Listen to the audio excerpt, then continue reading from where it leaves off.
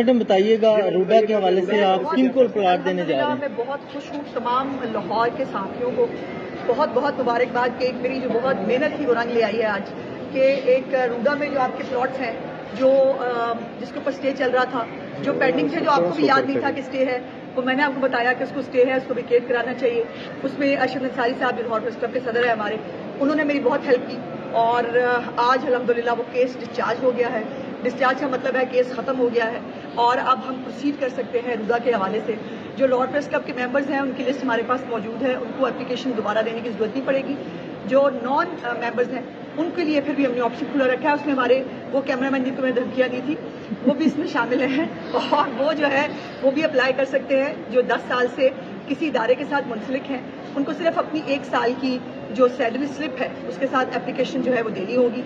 और प्लॉट्स का जो है, वो हमने साइज़ भी कोई कैमरा मैन अछूत नहीं है और कोई रिपोर्टर्स जो हैं वो हाई अप्स नहीं है। सबको पाँच मरले के प्लॉट पे हमने जो है वो कैप किया है और ये बत्तीस सौ से ज़्यादा प्लॉट्स होंगे इंशाल्लाह ताला जो चीफ मिनिस्टर साहबा की तरफ़ से आप सबको मिलेंगे। और मुझे खुशी है कि मैं आ, कुछ अच्छा करने में कामयाब ये कितने ये कब तक मिल जाएँगे? बहुत जल्दी है एज अर्लीस्ट एज पॉसिबल ये भी स्टे जो है ये किसी को याद ही नहीं था।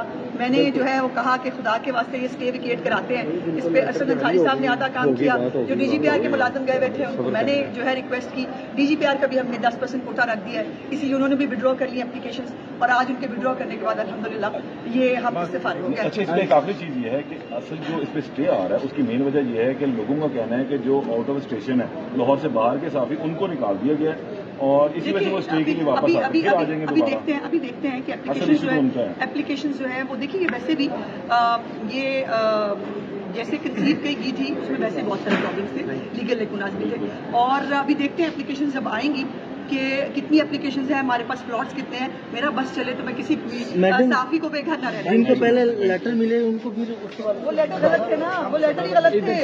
वो इलीगल थे।